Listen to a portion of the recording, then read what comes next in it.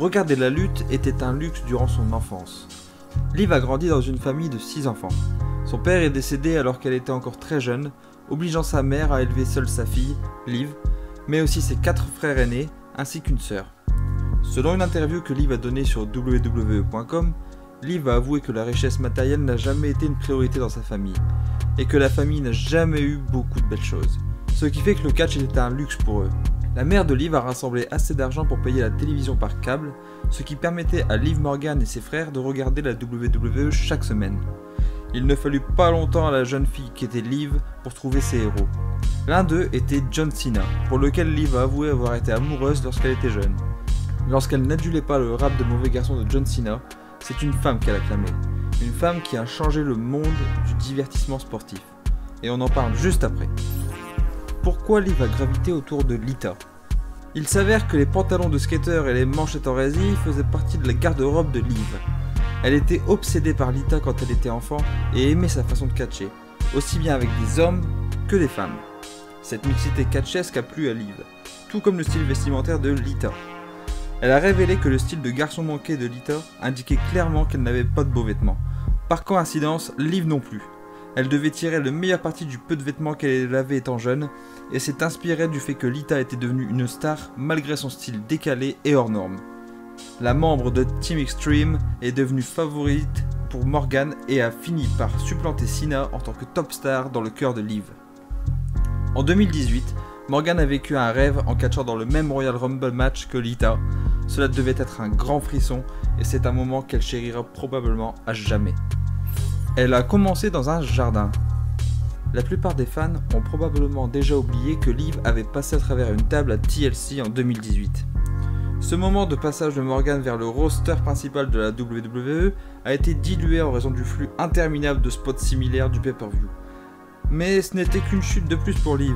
Elle avait déjà pris de grosses bosses comme celle-ci lorsqu'elle était enfant. La seule différence, c'est que cela se déroulait dans son jardin. En effet, Liv et ses frères et sœurs ont créé leur propre ring de catch, si l'on peut l'appeler ainsi, dans le jardin de leur maison et ont invité des amis après l'école pour des matchs. Leur maison est devenue un endroit incontournable en quelques semaines en raison de la popularité du catch à l'école et Liv Morgan se souvient avoir, pris, je cite, des pedigrees et des powerbombs comme si c'était son travail. Bien entendu, le catch dans le jardin n'est pas sans danger et l'on ne doit en aucun cas imiter les catcheurs professionnels et Liv Morgan a risqué sa vie en rejouant des séquences de matchs vues à la télé. Vous connaissez le message, n'essayez pas cela à la maison. Elle n'a pas catché sur les rings indépendants. Après avoir quitté le ring de son jardin, Liv ne s'est pas du tout lancée dans le catch. En effet, elle n'était pas un talent de la scène indépendante que la WWE aurait repéré et recruté pour NXT. Liv Morgan était mannequin occasionnel et participait à des compétitions de cheerleading. C'est lorsqu'elle sculptait son corps à la salle de sport que la WWE la repérait au gymnase de Joe DeFranco dans le New Jersey. C'est alors son petit ami Enzo Amore qui l'a aidé à mettre en place un essai. Liv a donc ignoré totalement le catch indépendant et est passé directement au programme d'entraînement interne de la WWE au Performance Center. C'est un point à souligner, la WWE a modelé Liv Morgan de fond en comble. Elle n'a eu aucune véritable expérience de catch au-delà de celle de son jardin avant de signer. C'est un aspect peu connu du Performance Center. Ils sont capables de découvrir de nouveaux talents sans piller dans le circuit indépendant. Liv en est un exemple type. Elle a ajouté dans une interview qu'avoir zéro expérience signifie également zéro mauvaise habitude. Liv Morgan a abandonné ses études secondaires. Liv n'a pas terminé ses études. En effet, elle avait tellement de jours d'absence à cause de problèmes familiaux et personnels que la commission scolaire voulait qu'elle redouble sa deuxième année. Cela n'a pas plu à Liv. Dans une interview avec l'un de ses anciens entraîneurs, Liv Morgan a dit que répéter une année de sa vie semblait idiot, alors elle a poliment décliné et s'est retirée de la vie scolaire. Quelques jours plus tard, elle a trouvé un emploi chez Hooters et a commencé à partager son temps entre serveuse et mannequin pour la chaîne de restaurants. Quand elle est allée à l'école, Liv a dit qu'elle trouvait les études faciles, elle n'était pas stupide et réussissait ses évaluations. Mais elle était tout simplement trop souvent absente, et cela s'est avéré problématique pour les enseignants préoccupés par son taux d'absentéisme trop élevé. Liv Morgan a fini par détester les idées reçues sur les décrocheurs scolaires, les gens pensaient qu'elle était stupide parce qu'elle n'avait pas fini ses études, et ce préjugé l'agaçait fortement. Elle a choisi donc de quitter l'école plutôt que de repartir en arrière pour refaire une année. La première fois qu'elle a pris l'avion était une expérience hilarante. Liv Morgan n'a jamais mis les pieds dans un aéroport avant son premier essai à la WWE. Gardez bien cela en tête pour la suite. La veille de son essai, Liv a voyagé du New Jersey à Orlando, et ce fut une expérience effrayante. Lorsqu'elle est arrivée à l'aéroport, Liv a été submergée par la foule qui se précipitait dans tous les sens et s'est retrouvée en larmes lorsqu'elle a repéré que les autres passagers avaient des sacs dans la salle d'embarquement. Elle pensait donc avoir perdu ses bagages. Liv ne se rendait même pas compte que les compagnies aériennes avaient des règles strictes sur les bagages et que les passagers pouvaient emporter un bagage à main pendant le vol.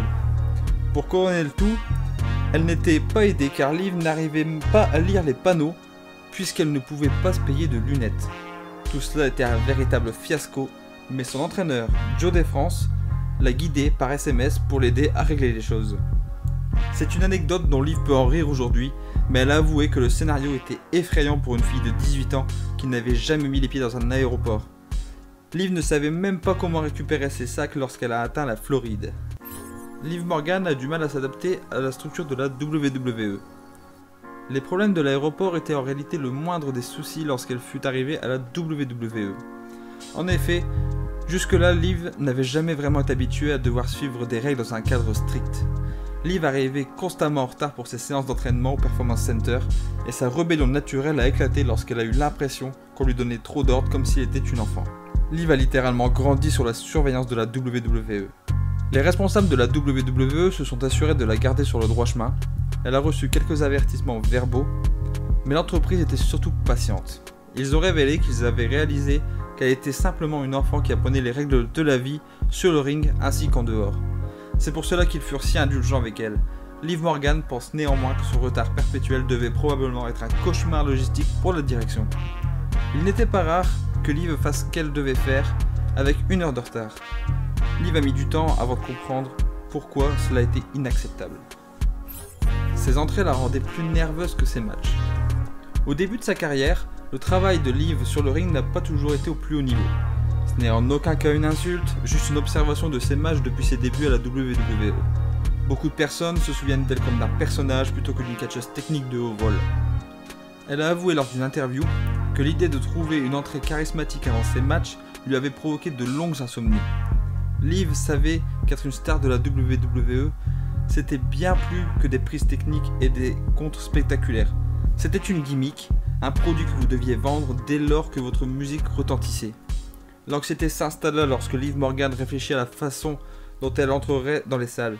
Son inquiétude était si grande qu'elle finit par se sentir plus nerveuse à propos des entrées et de tous les yeux tournés vers elle que de ce qu'elle ferait durant ses matchs.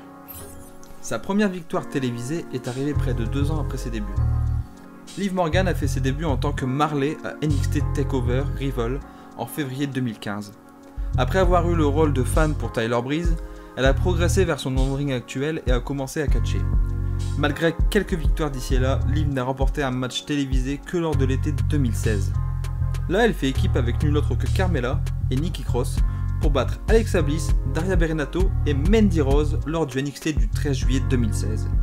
Ce combat par équipe a été oublié par l'ensemble des fans, mais ce fut pourtant un tournant majeur pour Liv car c'était sa première victoire télévisée. Un mois plus tard, elle commençait à remporter des matchs en solo. Tout cela s'est produit près de deux ans après avoir signé un accord avec la WWE en octobre 2014. Il est difficile d'imaginer n'importe qui traverser ces épreuves en 2020. Liv n'a effectivement pas connu le rythme éreintant du catch indépendant, mais elle devait faire ses armes avant que la WWE lui accorde un certain succès. La gimmick de la langue bleue était un accident. Un jour, avant son match, Liv s'est chauffée dans les coulisses et a mangé un bonbon comme petite collation avant de se lancer. Quand elle est allée vérifier son apparence au miroir avant de faire son entrée, Liv a remarqué qu'elle avait la langue bleue.